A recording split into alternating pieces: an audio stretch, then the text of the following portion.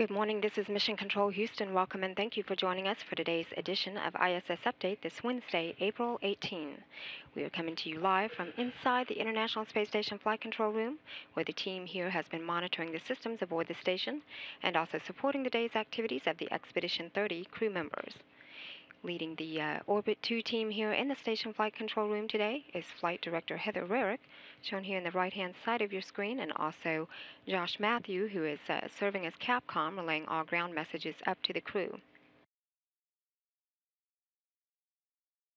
The uh, six crew members aboard the station now include NASA astronaut and commander of the complex Dan Burbank and flight engineers and cosmonauts Anton Shkaplerov and Anatoly Ivanishin, as well as NASA astronaut Don Pettit, cosmonaut Oleg Kononenko, and European Space Agency astronaut Andre Kuipers. Commander Burbank, Shkaplerov, and Ivanishin arrived at the orbiting complex mid-November last year. They will complete their 158th consecutive day in space today, with just a little more than a week left of their five and a half month stay aboard the space station.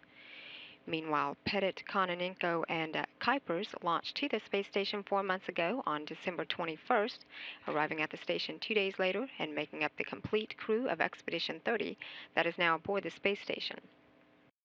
Today mark, marks 120 days in space for Pettit, Kononenko, and Kuipers. The uh, space station with its crew aboard is now flying at an altitude of about 248 statute miles.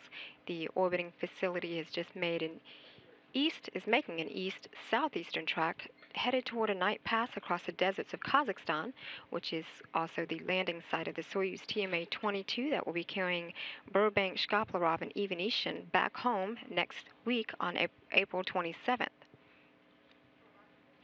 On orbit, the expedition crew members continue to work on a variety of science experiments, perform maintenance to their home away from home, and also prepare for several comings and goings of various spacecraft to and from the International Space Station.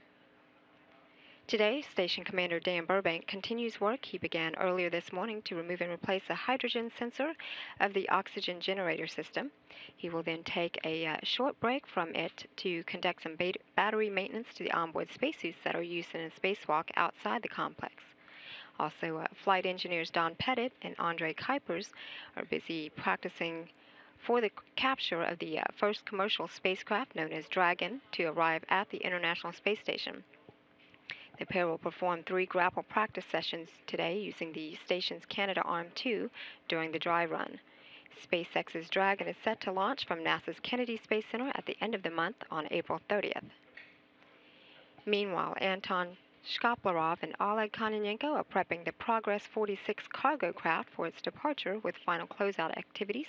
The hatches have been closed and the pair are now working on a leak pressure check of the hatches. The uh, cargo craft is set to undock from the space, space station at 6.04 a.m. Central Time. Tomorrow morning, we'll bring you live coverage of the vehicle's undocking here on NASA television starting at 5.45 a.m. Earlier this morning, Station Commander Dan Burbank spent some time testing the quality of the water on board the station, conducting a total iodine analysis of uh, onboard water samples. He also performed a preventative maintenance inspection of emergency equi equipment, including uh, the fire extinguishers and breathing apparatus that would be used by crew members in an emergency event aboard the station. Later, he set up for and began what will be about three and a half hours of work today to remove and replace that hydrogen sensor of the oxygen generator system. And also, flight engineer Don Pettit is spending some time working with Robonaut, the dexterous humanoid robot that is aboard the International Space Station. He assembled the robot and powered it up for some work with, uh, with it that will be done during today's update hour. Also, flight engineer Andre Kuipers performed three separate rebreathing exercises as part of an ongoing study known as CARD that experiment studies blood pressure decreases in the human body exposed to microgravity for long periods of time as that of a station resident.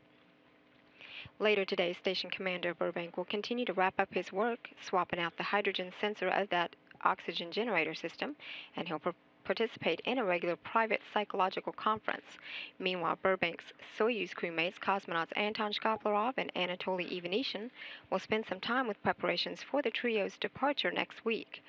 Burbank Shkaplerov and Ivanishin, who launched from the Baikonur Cosmodrome in Kazakhstan aboard their Soyuz TMA-22 last November, are wrapping up their final week and days aboard the International Space Station as they prepare to return back to Earth on April 27.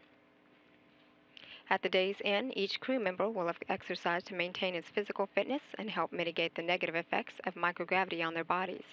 The Expedition 30 crew members will do some evening prep work for another busy day in space tomorrow. They will then participate in their final daily planning conference with ground controllers around the world before entering their pre-sleep period. The crew is then scheduled to go to bed at 4:30 p.m. Central Time. This is Mission Control Houston.